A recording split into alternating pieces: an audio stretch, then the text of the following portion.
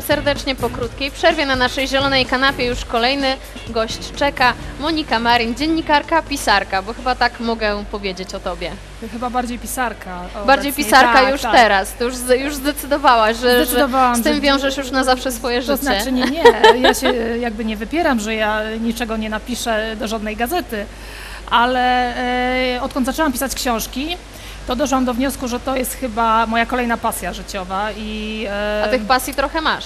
no, tych pasji troszkę Jeszcze do mam. to- jeszcze nie, do nie tego tak wrócimy. wiele, Nie znam tak osoby, wiele. które mają więcej pasji. Ale ty za to się poświęcasz im naprawdę tak. E, ja mam mało pasji, ale poświęcam się bardzo, tak stuprocentowo. Dzisiaj się spotkałyśmy tak naprawdę, żeby porozmawiać o, o drugiej części e, trylogii e, Tajemnicze Bractwo. To jest cykl o przygodach Adama i Aleksa, w której prze, przewija się motyw drogi, miłości, magii i wielkiej tajemnicy. To przeczytałam na Twojej stronie. Tak jest opisana ta książka. Tak, to już jest druga część, e, właśnie niedawno się ukazała e, i no cóż mogę powiedzieć, jest to e, kontynuacja przygód Adama i Aleksa, ale można tą książkę czytać niezależnie od pierwszej. Aha, czyli, e, bo, ja już tak właśnie patrzę, myślę, że Oczywiście. zacznę ją czytać, czyli mogę, mogę ją czytać e, nie, Nie- martwiąc się tak. tym, że pierwszej części nie, nie doczytałam. Jak najbardziej tak, e, specjalnie mm, e, stworzyłam e, rozdział pierwszy, który jest pod tytułem Starzy Znajomi, który jest nawiązaniem do pierwszej części, więc ktoś, kto pierwszą część czytał, no to mam nadzieję nie będzie się nudził, tylko przypomni sobie historię, natomiast dla tych, którzy nie czytali pierwszej części, to, to będzie myślę, że fantastyczne. Ta pierwsza część, bo tak naprawdę może zacznijmy od tego. Dla, dla kogo ty piszesz te książki? Powiedz mi, bo twoja droga też, też jakoś tak się rozwija, Ewoluuje. ewoluuje, Tak. e, więc dla kogo są te książki, które w tej chwili ostatnio napisałaś? Te dwie części e, trylogii, tak? Ja muszę przyznać, że ja nie wiem dla kogo są te książki, dlatego że moim e, zamierzeniem było napisanie książek dla dzieci i dla młodzieży, a, a okazało się, że czytają te książki rodzice. Nie tylko mamy, ale i tatusiowie, czytają babcie, nie wiem o dziadkach, nic jeszcze. E, I dostaję mnóstwo listów, maili, e, że mamy są zachwycone, że ja w tych książkach takie wartości przekazuję, które im się szalenie podobają.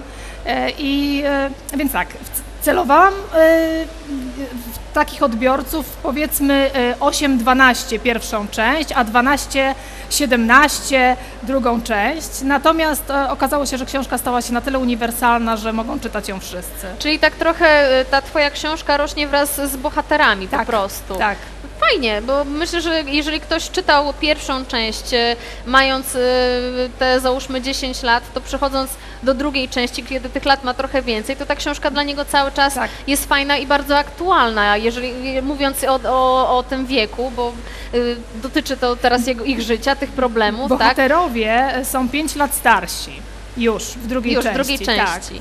E, Trzecia część będzie, myślę, że zaskoczeniem. Ja nie chciałabym za dużo zdradzać teraz o trzeciej części. Rozumiem, że już jesteś w trakcie? Książka trzecia jest już, e, jak to się mówi, zamykana, tak? Są e, robione ilustracje do niej, e, wiadomo już od początku do końca, co w niej będzie. Ja to nazywam, że mam e, nie napisaną książkę, ale e, naszkicowaną książkę. E, I właściwie w każdej chwili mogłabym ją wydać, natomiast poczekam, aż e, czytelnicy zapoznają się z, Z częścią drugą. drugą. Pochwal się jeszcze, bo rozmawiałyśmy przed wejściem na antenę. Co się stało z pierwszą częścią Kronik? Bo to jest naprawdę super. To jest niesamowite, No, duży się stało. sukces. Ja muszę powiedzieć tak, że e, pisząc książkę tak naprawdę autor nie wie, czy ona się spodoba czytelnikom, czy nie. Może się okazać, że pisze się tylko dla siebie e, i rok e, pracy, no ja akurat e, potrzebowałam roku, pisałam 4 miesiące, ale żeby jeszcze zamknąć edycję i ilustrację, około roku mi to zajęło. Mogłoby się okazać i byłam na to gotowa, że ta książka nie powiem, że się nie spodoba, ale może nie. nie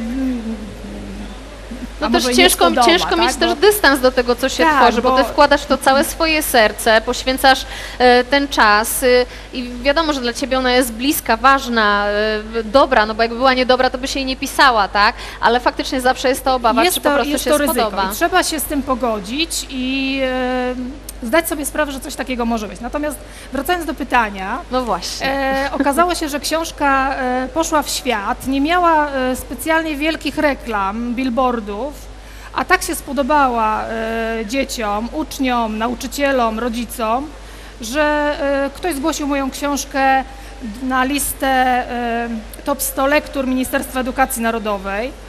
E, I wynikiem głosowania znalazła się w tej pierwszej setce e, z prawie 4000 książek na 63 miejscu. Gratuluję. To, to była dla mnie wynik. niesamowita niespodzianka i myślę, że taka wielka nagroda za, za tą pracę. Myślę, że te wartości, które w, w książce przekazujesz, nie czytałam, ale myślę, że pochylę się teraz nad, nad tematem. Ale tak jak rozmawiałyśmy, to nie są takie wartości zbyt popularne w dzisiejszym świecie. Skąd taka potrzeba, żeby te wartości przekazywać? Czyli to, żeby szanować drugiego człowieka, żeby y, być dobrym po prostu. Bo no, dzisiaj to tak E, Wiemy. no, w zaniku niestety. E, Ja wierzę w coś takiego, że każdy z nas ma jakiś taki mm, obowiązek zostawienia czegoś po sobie e, na ziemi. I czy to jest e, dziecko, które wspaniale wychowujemy, czy to jest e, jakieś takie niezwykłe wspomnienie, które przekażemy e, innym ludziom, czy następnym pokoleniom. E, nie wiem, czy to są na przykład, nie wiem, szalik zrobiony na drutach, ale coś takiego, co kogoś e, wzruszy albo uczyni e, życie jakiegoś innego człowieka lepszym. I ja postanowiłam, że napiszę książkę. Przekażę w tej książce wartości, które są mi bliskie. I chciałabym właśnie, żeby ludzie, którzy czytają, no ja się w ten świat zanurzam, tak? I jeżeli ja piszę książkę, jestem, jestem w świecie i, i chciałabym, żeby ten świat był idealny, każdy by chciał. E, I być może e, napisałam nie tylko dla dzieci, ale dla tych osób, które nie mają czasu e, stanąć na chwilkę i zastanowić się, co zrobić ze swoim życiem. Być może oni zatrzymają się przy jakimś zdaniu i stwierdzą, że pomogło im to w czymś, więc te wartości, było to wielkie ryzyko, tak? Bo e, e, wiadomo, że pierwsze po co sięgają ludzie, to, to sięgają po rozrywkę. Najlepiej, Tak. żeby było szybko, łatwo Szybko, i przyjemnie. Dokładnie, dokładnie. E, więc e, to ryzyko mi się opłaciło i, i widzę, że wiele osób ceni to, więc kontynuuję, piszę dalej. Nies- niesamowita jest w ogóle y, ta twoja droga, bo ja ciebie pamiętam i dla mnie gdzieś tam zawsze zostaniesz w mym serduchu, bo ja zawsze uwielbiałam i twoje felietony czytałam i byłaś takim d- dla mnie jakimś modelem, że tak powiem, y, widząc cię jako dziewczynę na motocyklu.